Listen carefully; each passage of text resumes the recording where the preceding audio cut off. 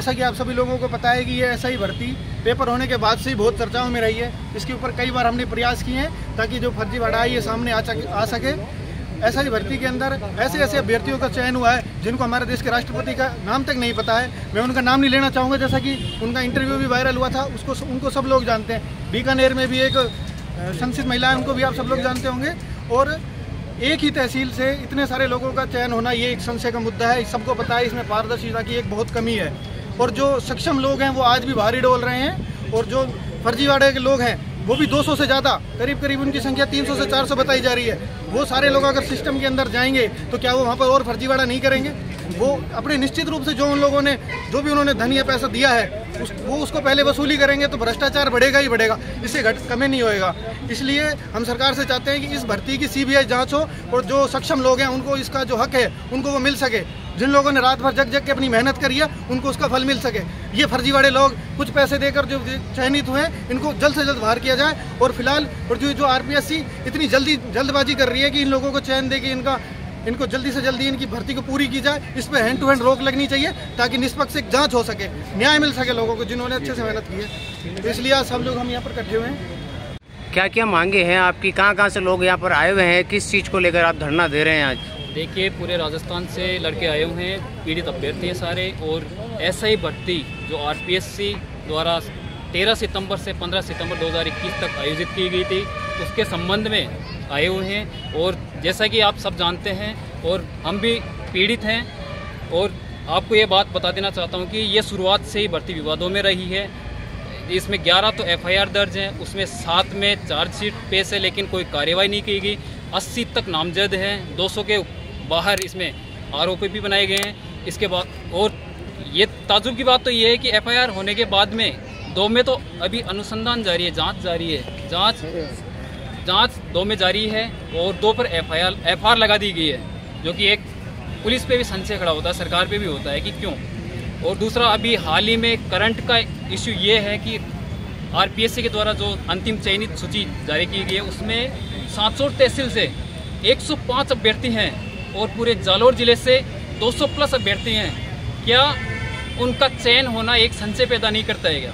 और दूसरा, आरपीएससी तो वैसे है ही, अपने संदेह के दायरे में आ गई है उसके साथ साथ पीएचक्यू भी है, क्योंकि पीएचक्यू की भूमिका इससे इसलिए संलिप्त पाई जाती है, क्योंकि जो अंतिम सूची अभी डीवी के लिए जारी की गई है, उसमें जिलेवार सूची नहीं जारी की है तो एक संशय पैदा करता है, क्योंकि ये चाहते हैं कि जो ये घपला हुआ है, जो भी धांधली हुई है, भ्रष्टाचार हुआ है, इसको एक दमन की नीति के तहत देखा जा रहा है और दबाया जा रहा है, क्योंकि जैसे ही लिस्ट जिलेवार होगी तो सबको पता चल जाएगा कि जालोर ज़िले से कितने हुए हैं। और हम तो यही चाहते हैं हम ये नहीं चाहते हैं कि जालोर के फर्जी हैं, सांचौर के फर्जी हैं। हम ये चाहते हैं कि जालोर और सांचौर से कितने सेलेक्टेड हैं थानेदार?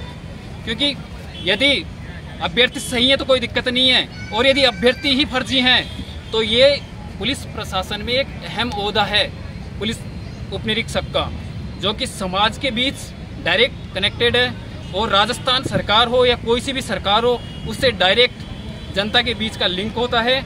इसलिए हम चाहते हैं कि जो भी सांचौर से बंदे हैं और एक पारिवारिक बंदे हैं जो भाई बहन हैं, देवर भाभी का रिश्ता है, साडू का रिश्ता है तो उनके संबंध में भी जाँच की जाए। और दूसरा, सबसे बड़ी बात, राजस्थान उप निरीक्षक भर्ती का पहला टॉपर नरेश कुमार, वो उस एरिया से बिलोंग करता है जहाँ पे पेपर सरगना है।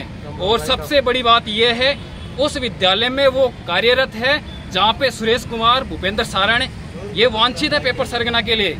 और दूसरी, ये है आरपीएससी के सदस्य। आरपीएससी पे उंगली उठाना एक लाजमी इसलिए है क्योंकि आरपीएससी के सदस्य रामू राम रायका जी, उनकी बेटी शोभा रायका पांचवी रैंक के साथ चयनित होती है, जो कि लड़कियों में फ़र्स्ट रैंक है वो। और दूसरा, उनका लड़का, दोनों सगे भाई बहन देवेश राय का चालीस रैंक के साथ चयनित होता है।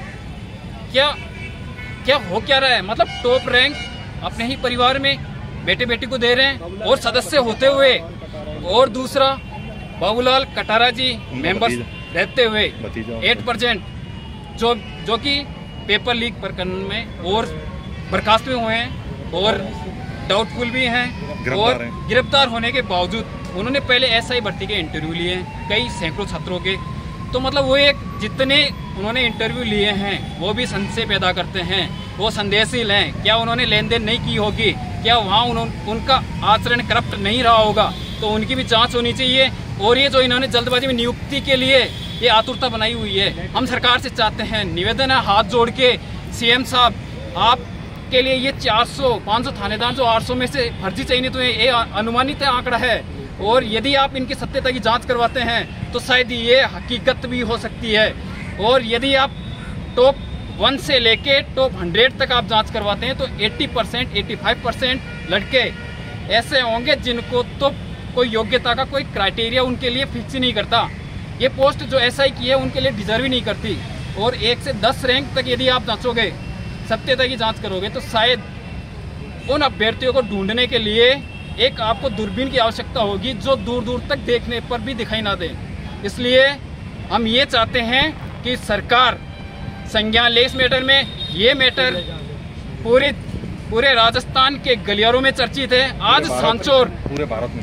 आज सांचोर जो कि एक सम्मानित जिला जिसको कोई जानता नहीं था भविष्य का जिला बनेगा वो उस तहसील को कोई जानता नहीं था। आज इन पेपर सरगनाओं ने इन भर्तियों बेरोजगारों के दलालों ने इस सांचौर को इतना हाईलाइट कर दिया है कि सांचौर के नाम से लोग डरने लग गए हैं। राजस्थान का हर बच्चा बच्चा अंगूठा टेक व्यक्ति भी, आज नरेगा का मजदूर भी ये बात करता है कि मैं अपने बेटे को सांचौर भेज दूँ क्या? ये क्या चल रहा है? ये सांचौर वाले, मैं मैं इतना सांचौर वाले सारे फर्जी हैं। सांचौर में चंद समुदाय के चंद लोग ये फर्जीवाड़ा करते हैं और पूरे सांचौर को बदनाम करते हैं। इसलिए सांचौर के जन प्रतिनिधियों से भी मैं निवेदन करूँगा कि इन फर्जियों का आप साथ न दें, इन फर्जियों के खिलाफ आवाज़ उठाए ताकि आपकी जो एक जो एक सांचौर की लोगों के प्रति छवि बनी हुई थी सत्यपुर नाम से, वो वापस बरकरार रहे। लेकिन जो ये सांचौर, जो आगे आपने साल लगा रखा है, ये आगे हटा देंगे। लोगों के मन में यही है कि अगर सरकार अगर अब भी आपकी मांगे नहीं मानती है तो आप आगे क्या कदम उठाएँगे? ऐसी बात है, जैसे सरकार पे हमें पूर्ण विश्वास है कि सरकार हमारे हित में निर्णय लेगी। सीएम साहब से हमारा पूर्ण विश्वास है, उनके, उनको कि वो हमारे हित में निर्णय लेंगे, इसकी निष्पक्ष जाँच करवाएँगे, भर्ती की जो योग्य अभ्यर्थी उनको नियुक्ति देंगे। और यदि सरकार ऐसा नहीं करती है तो फिर हम दिल्ली दूर नहीं है। हम सुप्रीम कोर्ट जाएँगे संसद जाएँगे जहाँ भी जाना होगा हम जाएँगे लेकिन भर्ती में अयोग्य अभ्यर्थियों को हम सम्मिलित नहीं होने देंगे क्योंकि ये अभी जब अपराध करके जा रहे हैं पैसे दे के जा रहे हैं तो आगे इनका क्या है कि ये पैसे ही लेंगे। जो भी गरीब आ रहे हैं को, कोई भी आ रहा है तो उनको ये अपराध करके यही सम्मिलित हो रहे हैं। तो फिर ये भी अपराध को बढ़ावा देंगे तो हम ऐसा नहीं होने देंगे। हम जहाँ भी जाना होगा सुप्रीम कोर्ट का हम दरवाज़ा खटखटाएँगे यदि गवर्नमेंट नहीं सुनती है तो। और जैसे चुनाव आ रहे हैं तो चुनावों में हम बता देंगे कि गवर्नमेंट सीबीआई जाँच नहीं करवाई, निष्पक्ष जाँच नहीं करवाई है अयोग्यों को नियुक्ति दी जा रही है। रामू राम रायका जी है, उनके बेटे बेटी लग रहे हैं तो बाबूलाल कटारा जी के भतीजे सम्मिलित हो रहे हैं, उसमें परिवारवाद चल रहा है। तो हम गवर्नमेंट को ये भी बता देंगे, ये भी सबक सिखा देंगे कि चुनाव आ रहे हैं, चुनाव सामने हम बता देंगे कैसे जीता जाता है, कैसे एमएलए, कैसे मंत्री, कैसे सीएम बना जाता है, ये हम उनको बता देंगे।